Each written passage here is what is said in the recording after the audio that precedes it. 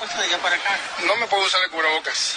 Y ya voy de salida porque es una farsa de Dios. Andrés Manuel López Obrador no lo utiliza.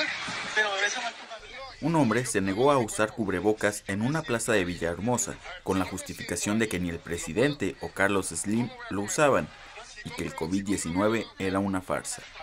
Te pregunto. Espérame tantito. Ajá. Ajá. Usa el cubrebocas de la mejor ciudad. No lo voy a utilizar, es mi cuerpo. Si quieres, utilízala tú.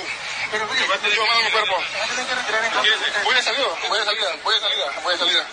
mira, el uso del cubrebocas es obligatorio. Esta recomendación, cómprese su heladito, por favor. Carlos Slim no utiliza cubrebocas.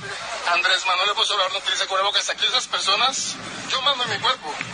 El video se volvió tendencia el primero de septiembre, cuando los casos en Tabasco eran de 28.200 contagios y 2.560 muertes. Bueno, vamos a hacer- yo, yo ya- yo voy de salida, vine a comprar, no lo voy a utilizar. ¿Me salgo o me saca?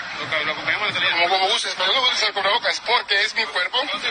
Porque es mi cuerpo, me checaron la temperatura, yo mando y decido mi cuerpo. Si tú te quieres invitar o poner el bozal, si te quieres poner el bozal, si te quieres poner el bozal, lo puedes utilizar. Pero yo soy libre y soberano. Andrés Manuel López Obrador no. Porque es una farsa, es un fraudulento.